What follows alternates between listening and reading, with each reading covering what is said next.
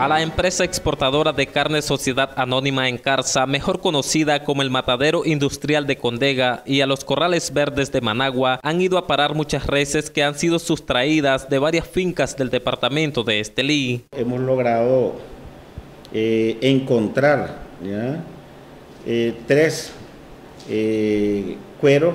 Se ocupó un animal en pie todavía, todavía con vida también ocupamos un cheque que no se logró hacer efectivo por un monto de 86.565 Córdoba. Este estaba siendo emitido a favor del señor Efren Gutiérrez Peralta. Hemos ocupado tres cartas de venta a nombre de los investigados Ramón Alonso Torres y Luis Alberto Torres eh, Ramírez.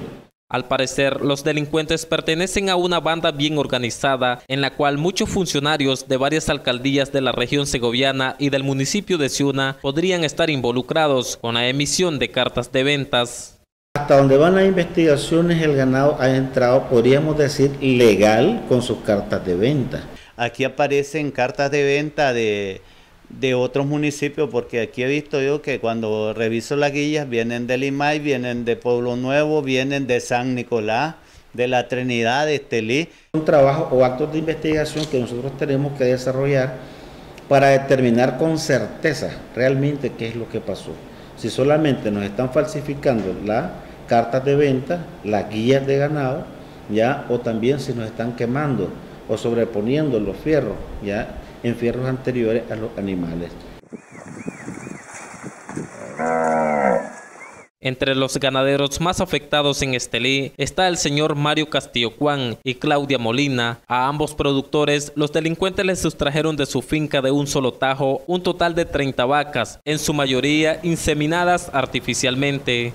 Y de ahí esas vacas entraron arriadas al matadero, porque no van a buscar camión que están cerca, que las traen arriadas sobre el camino de Pueblo Nuevo y las meten al matadero. Yo creo que la policía pues está haciendo sus esfuerzos, ¿verdad?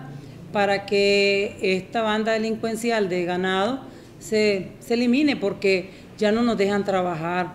Vacas caras por lo que son eh, vacas encastadas, pardo brama y buenas productoras y están, eh, están gestantes todas por a parir. ¿Cada una en cuánto? Más, más o menos 1.400 dólares.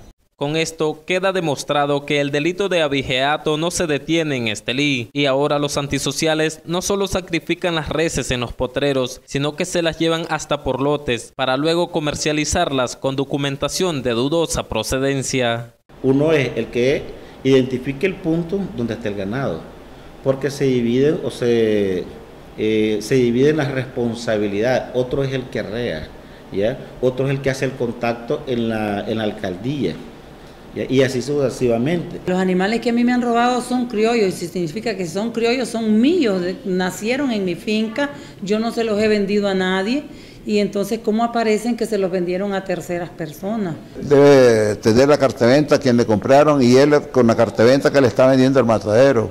Pero en esta, en esta carteventa, por ejemplo, que anda este hombre está con mi fierro y hecho en una.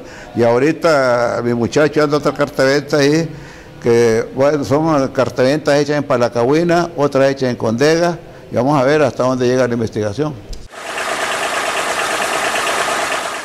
Durante dos ocasiones buscamos la versión de la gerencia y administración del matadero de Condega, pero en el portón principal se nos dijo que no nos podían atender porque estaban en reunión. Con imágenes de Pablo Rivera en Estelí, Juan Francisco Dávila, Acción 10.